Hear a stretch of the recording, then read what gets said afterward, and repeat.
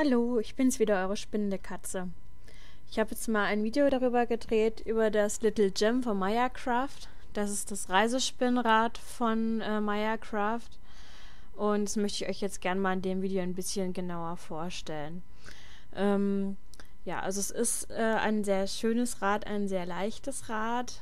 Es wiegt ungefähr 4 Kilogramm. Es wird mit der Tasche mitgeliefert und es lässt sich sehr schön äh, leicht äh, auseinanderbauen und wieder zusammenbauen.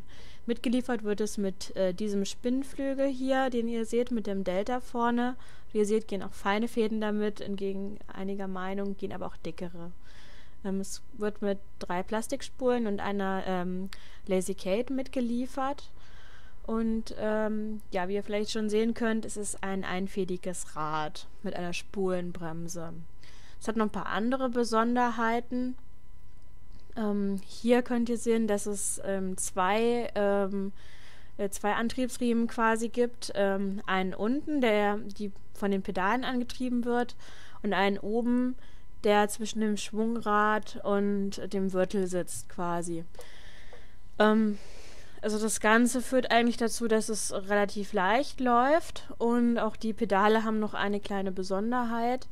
Ähm, diese sitzen nicht fest, auf den, äh, ja, wie sagt man, äh, ja, auf dem Antrieb, sondern es ist eigentlich wie so eine Art Fahrradpedal, muss man sich das vorstellen. Ähm, es läuft allerdings auch nur in eine Richtung gut. Wenn man dann in die andere Richtung spinnen möchte, also mit oder gegen den Uhrzeigersinn, dann muss man den Antriebsriemen einmal verändern. Das zeige ich euch aber gleich auch nochmal. Das Rad ist äh, insgesamt äh, gebaut aus Rimu. Das ist einem ähm, neuseeländischen Hartholz einer bestimmten Art. Ähm, das finde ich hat eine sehr schöne Farbe und Maserung. Das Schwungrad selber ist aus Bambus, wodurch eben äh, das ganze Spinnrad auch ein bisschen leichter wird. Was besonders angenehm ist, sind eben auch die Plastikspulen, weil ähm, die eben auch nochmal ein bisschen Gewicht wegnehmen, wenn man alles zusammenpackt. Ähm, außerdem gibt es noch als Zusatz diesen Jumbo-Flyer, ähm, den ich jetzt habe. Der hat ein ziemlich großes äh, Einzugsloch, eigentlich auch wie so eine Art Delta. Und äh, der hat auch ungefähr so ein Inch, also so 2,5, 2,3 Zentimeter ungefähr. Also da passt echt eine ganze Menge durch. Und äh, dadurch kann man auch wunderbar Artians mit diesem Spinnrad spinnen. Die langsame Übersetzung hilft da auf jeden Fall zu. Und äh, was auch nett ist, dass man alle Würtel von Meyercraft benutzen kann für das Little Gem. Also das geht alles super. Ja, das Spinnrad hat eben eine Spulenbremse, eine schottische Bremse, wie man auch sagt. Und man kann hier, wie man sieht, äh, kann man die relativ gut einstellen. Äh, geht sehr fein einzustellen, sodass man gar keinen Einzug hat oder einen sehr starken Einzug, je nachdem, wie stark die Feder gespannt ist. Und ähm, das äh, bietet einem eigentlich wirklich viele, viele Optionen äh, zum Spinnen. Also ähm, und auch zum Zwirnen. Das Rad hat, äh, wie man auf dem Wirtel sehen kann, äh, fünf äh, Übersetzungen. Einmal die langsamste liegt bei 4,5 zu 1 und weiter folgen dann 6, 8,5, 10 und 12,75 zu 1. Ich habe das sogar mal nachgemessen, das kommt äh, ziemlich gut hin. Und ähm, was bei einem Rad auch sehr schön ist, dass man eben gerade bei Artians, wie, wie man hier vielleicht sehen kann, wenn man dann zwischendurch mal anhalten muss ähm, und man auf eine langsame Übersetzung spinnt, kann man ohne weiteres mal eben anhalten und wieder neu starten, äh, was doch ab und zu mal notwendig ist, je nachdem, was man so spinnt. Ähm, auf den höheren Übersetzungen geht das aber auch gut. Wie gesagt, man kann auch die anderen Wirtel von Meyercraft benutzen. Ähm, ich habe zum Beispiel noch den Lace-Wirtel. Ähm, der hat dann eine Übersetzung von bis zu 20 zu 1. Ähm, damit kann man dann zum Beispiel auch schon Baumwolle spinnen, wenn man das möchte, obwohl ich nicht so der Fan bin von Baumwolle am Spinnrad. Aber das ist eine andere Geschichte. Ja, man kann im äh, Garn auch wunderbar Nupsis einspinnen. Mit dem Spinnrad bleibt nichts hängen. Ich habe auch schon Lockengarn drauf gesponnen, das ging auch. Hier zeige ich euch jetzt nochmal, wie man den Wirtel dann wechseln kann. Also was ihr mitgeliefert bekommen habt, ist eben dieser, dieser Schlüssel quasi, mit dem ihr dann diese kleine Schraube, die ihr da vielleicht sehen könnt, lösen müsst. Das ist beim ersten Mal, wenn ihr das macht, relativ schwierig. ähm, äh, weil das ja eben von Werk aus quasi schon ziemlich festgeschraubt ist. Aber ihr müsst keine Angst haben, ihr könnt es einfach lösen. Ähm, auch wenn ihr Angst habt, dass es abbricht, das bricht nicht ab. Ähm, und wenn die Schraube locker ist, könnt ihr ihn einfach abnehmen, den, den alten Wirtel. Ihr seht, hier ist so eine flache Seite vorne. Ihr müsst gucken, dass wenn ihr den nächsten Wirtel wieder draufschraubt, dass eben die Schraube, wie ihr da vielleicht sehen könnt, die kleine, ähm, ja, zum einen müsst ihr die ein bisschen wieder reinschrauben, weil sonst verliert ihr die. Das wäre ja schade drum. Und ihr müsst gucken, dass auf der flachen Seite wieder die Schraube draufkommt.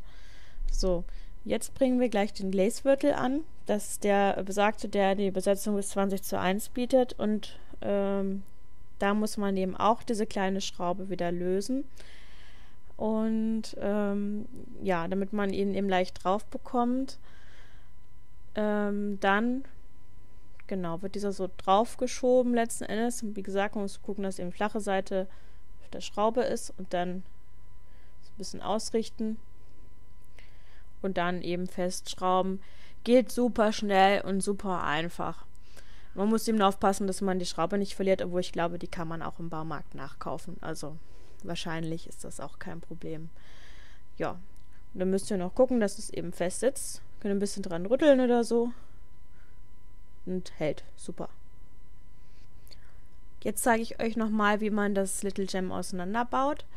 Und zwar nimmt man am besten erstmal äh, die Antriebsriemen runter äh, und die Bremse auch. Dann löst man eben diese Schraube hier, so dass sie ganz locker ist. Also da muss man ruhig äh, ein bisschen länger drehen dran, ähm, bis sie locker ist und man äh, den oberen Teil dann abnehmen kann. Moment, so. Hier sehen wir es dann nochmal mit dem oberen Teil. Ich drehe es noch ein bisschen lockerer. Und dann kann man das einfach so abnehmen. Es ist noch alles drauf, also man kann auch seine Spule drauf lassen und dann ist es quasi schon transportabel, das Stück. Da muss man diesen Hebel hier nach rechts drücken und dann rastet es quasi aus und man kann es eben umklappen. So. Und wenn es dann umgeklappt ist, sollte man gucken, dass dann der Hebel äh, auch wieder festgemacht wird, weil sonst klappt es eben ganz leicht wieder auseinander. So. Antriebsriemen, äh, den oberen, der hält leider nicht da drauf, den sollte man dann runternehmen. Ähm, Gibt es dann ein paar Fächer in der Tasche, wo man das dann problemlos reintun kann. Das passt ganz gut. Die Tasche ist auch gut gepolstert, also da habe ich auch nicht das Gefühl, dass das irgendwie ähm, zu eng ist. Man kann den Spinnflügel im Ganzen reintun. Es ist noch Platz für seine Projekte. Kann, man kann auch noch ein bisschen Wolle mitnehmen, Portemonnaie, äh, was man so braucht, wenn man zum Spinntreffen geht. Dann kann man das Rad so nehmen und äh, eben in die Tasche tun. Äh, hier zeige ich das nochmal, dass man eben diesen Hebel festmachen muss, weil es sich sonst, wie ich hier zeige, auch ausklappen kann.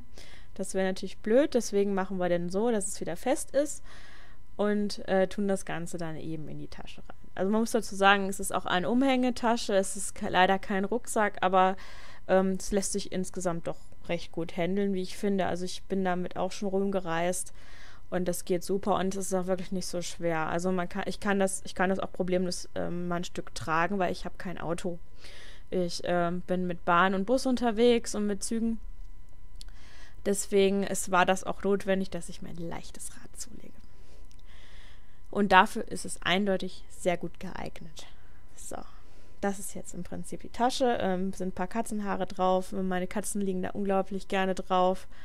Ähm, jetzt zeige ich euch quasi nochmal, wie man das Ganze aufbaut. Ist eigentlich genauso einfach. Ne? Man legt die Tasche erstmal dahin, holt den äh, Unterkörper raus und ähm, ja, muss wieder diesen kleinen Hebel unten umlegen, ähm, wonach man dann eben das Rad wieder aufklappen kann. Ja. So, jetzt sehe ich das nochmal an, genau. Dann zeige ich es nochmal von unten. Unten seht ihr übrigens auch die Signatur, die jedes Meyercraft-Rad bekommt mit einer Nummer. Ähm, ja. Lässt sich ganz einfach aufstellen. Hebel umlegen, damit es einrastet genau hält einigermaßen. So. Dann kann man wieder den Spinnkopf rausnehmen oder wie man auf Englisch sagt, die Mother of All und eben dann wieder einsetzen. Genau. Ja, das ist das Schöne, man kann es alles in einem transportieren.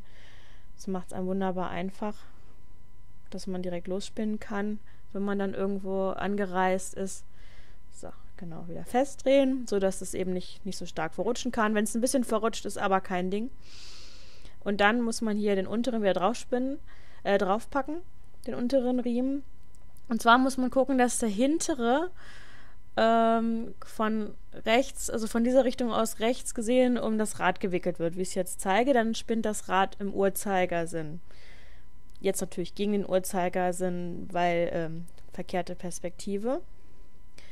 Ähm, wie gesagt, es dreht nur immer in eine Richtung gut. Möchte man es aber in die andere Richtung drehen, also zum Zwirren gegen den Uhrzeigersinn, muss man sehen, dass eben der hintere Riemen ähm, dann von links quasi über ähm, äh, die Führung gegeben wird, so wie hier. Und dann kann man es eben gut gegen den Uhrzeigersinn drehen. Das sind eben so die kleinen Tricks. Was man auch machen kann, ist eben das andere Band, was dann noch umgelegt werden muss, äh, dass man das andersrum um den Wirtel legt, also quasi einmal kreuzt. Dann muss man aber auch ähm, den Spinnkopf ein bisschen drehen, damit die äh, beiden Kreuz, also damit das Kreuz nicht übereinander reibt. Ähm, das führt natürlich dann zu Problemen. Also im Idealfall sollte man auch zuerst äh, den oberen Antriebsriemen äh, drum machen und äh, nicht erst den unteren, weil äh, das von der Reihenfolge her richtig ist. Genau, und dann kann man das oben drauflegen. Ähm, ja, wie gesagt. Und dann sollte man eigentlich erst den unteren drauflegen. So, von der richtigen Reihenfolge her. So, dann legen wir jetzt noch drauf. Und fertig. Jetzt zeige ich euch noch mal kurz, wie man ähm, den, äh, den, die Spule wechselt. Also das hat schon einen schönen Trick, wie ihr seht. Äh, man kann es einfach ein bisschen lockern, äh, den Flügel festhalten und eben dann treten. Äh, in dem Fall ähm, Moment, mit dem Uhrzeigersinn, um es drauf zu kriegen und gegen den Uhrzeigersinn, um äh, das runterzunehmen. Ähm, hier setze ich jetzt die neue Spule auf setzt dann die, die ähm, Bremse, macht die Bremse erstmal locker und setzt sie eben auf. Ähm, am besten man dreht die mal erst sehr locker, bevor man sie auf die Spule setzt und dann kann man den Flügel so ein bisschen andrehen und dann wieder in dem Fall gegen den Uhrzeigersinn treten und schon dreht es sich quasi wie von alleine drauf, wenn man die äh, Spule draufsetzt. Dann kann man das eben durch die Einzugslöcher fädeln. Hier ist praktischerweise kein Einfädler vonnöten. Man kommt komplett ohne aus. Finde ich sehr praktisch insgesamt, das Teil. Sehr schön gemacht. Ja, also insgesamt finde ich, äh, kann man sagen, dass das Rad wirklich super ist für Leute, die eben ähm, eben nicht nur mit dem Auto reisen, sondern auch viel mit, mit der Bahn oder mit dem Bus unterwegs sind. Äh, ich bin jedenfalls total begeistert davon. Ähm, das Einzige, was ich mir äh, noch wünschen würde, ist, dass man noch eine bisschen bessere Lösung findet mit der Bremse für den Jumbo-Flügel. Die habe ich jetzt nicht so genau gezeigt, aber die ist noch nicht so ganz ideal gelöst. Sie löst sich nämlich manchmal. Das wäre aber auch das einzige äh, Manko, was mir bis jetzt aufgefallen ist. Und der Jumbo-Flügel ist ja auch nur eine Zusatzoption. Insgesamt ist das Rad leider sehr teuer, das muss man dazu sagen. Es, äh, ich habe es noch für weniger bekommen, aber inzwischen sind die Preise leider nochmal nach oben geklettert, was allerdings auch daran liegt, dass das alles handgemacht ist. Es ist, äh, wird alles auf Herz und Nieren geprüft, bevor es nach Deutschland geschickt wird zum Verkauf. Und ähm, es wird halt eben nicht in so einer riesen Produktionsreihe hergestellt, wie andere Firmen das tun. Das rechtfertigt vielleicht schon den Preis. Allerdings, ähm, ja, es kostet inzwischen bei Volinchen, habe ich äh, gesehen, 958 Euro. Das ist schon eine Menge Geld. Also für Anfänger vielleicht nicht unbedingt geeignet, wenn man sich noch nicht sicher ist, ob man das, ob man wirklich das Spinnen langfristig für sich machen möchte. Also ich möchte es nicht mehr missen, aber äh, man muss sich schon im Klaren sein, äh, dass das ihm eine ziemliche Investition ist. Ähm, also ich finde, es ist das Geld absolut wert, weil es qualitativ sehr hochwertig ist und äh, absolut top verarbeitet. Ähm, ich habe wirklich, also ich habe wirklich das Gefühl, dass das alles super durchdacht. Es ist leicht aufzubauen, leicht abzubauen. Man kann es super gut mitnehmen. Es ist klein, die Tasche ist sehr gut gepolstert. Also ich habe keine Angst, dass es irgendwie kaputt geht da drin. Ähm, also ich bin schon ziemlich begeistert davon. Ähm, das so als kleines Fazit. Schön wäre es noch, wenn so ein Rad auch zweifädig geben könnte, aber man kann nicht alles haben. Also hier zeige ich euch jetzt nochmal das Rad, äh, wie es sich dann im Original anhört. Ähm, ich habe im Hintergrund allerdings ein bisschen Musik laufen, wie mache ich ganz gerne beim Spinnen. Also nicht wundern. Aber ihr könnt ja mal kurz hören, wie so die Geräuschkulisse von dem Rad ist.